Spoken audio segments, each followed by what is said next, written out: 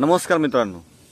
आज मी तुम्हाला जो डॉग दाखवणार आहे तो डॉग महाराष्ट्रात आणि भारतात खूप कमी प्रमाणात पाहिला जातो.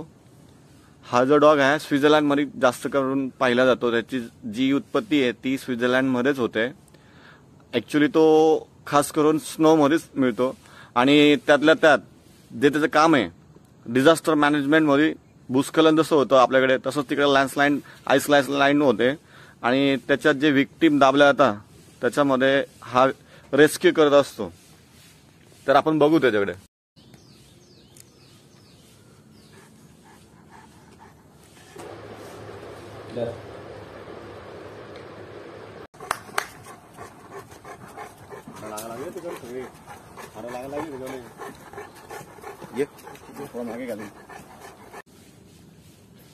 या डॉगला डॉग म्हणायचं नसतं. किंवा कुत्रा म्हणायचं नसतं त्याचं जे प्रेमाने नाव ठेवलंय त्याच नावाने हाक मारायची असती नाही तर त्याला राग येतो. कारण की हा जो डॉग आहे इतका माणसाळलेला आहे की त्याला व्यक्तींमध्ये माणसांमध्ये राहायला आवडतं आणि खूप प्रेमळ कुत्रं आहे. असं म्हटलं तरी चालेल का आपल्या मराठी भाषेमध्ये पण त्याला कुत्रं किंवा डॉग डॉगची स्मेलिंग पॉवर बर्फाच्या आतमध्ये फसलेल्या दहा फीटपर्यंत व्यक्ती शोधू शकतोय किंवा लांबपर्यंत त्याला स्मेलिंग पॉवर खूप आहे.